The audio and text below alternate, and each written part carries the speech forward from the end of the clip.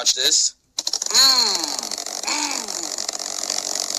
Come. Ah! This is such a stress reliever. I love slicing these things. Don't play with knives unless you slice it all.